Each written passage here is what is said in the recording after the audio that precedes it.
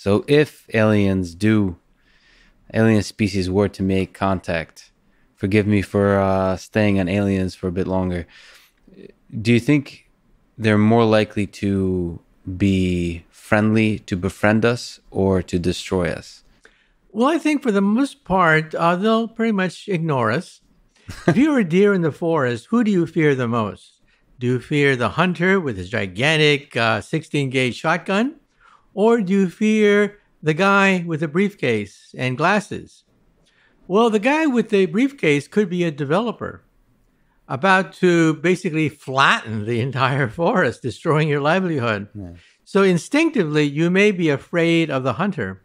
But actually, the problem with deers in the forest is that they should fear developers because developers. developers look at deer as simply getting in the way.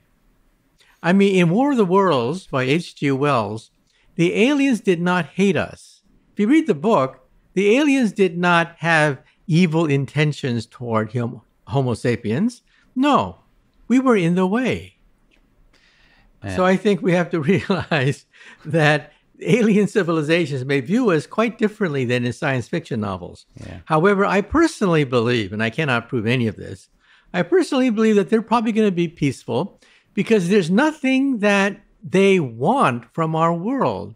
I mean, what are they going to take us? What are they going to take us for? Gold? No, gold is a useless metal for the most part. It's silver, I mean, it's gold, golden colored, but that only affects Homo sapiens. Squirrels don't care about gold. And so gold is a rather useless element. Rare earths, maybe. Platinum based elements, rare earths for their electronics, yeah, maybe. But other than that, we have nothing to offer them. I mean, think about it for a moment. People love Shakespeare and they love the arts and poetry, but outside of the earth, they mean nothing. Absolutely nothing.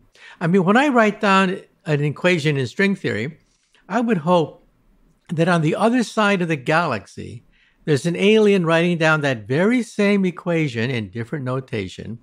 But that alien on the other side of the galaxy, Shakespeare, poetry, Hemingway, it would mean nothing to him or her or it.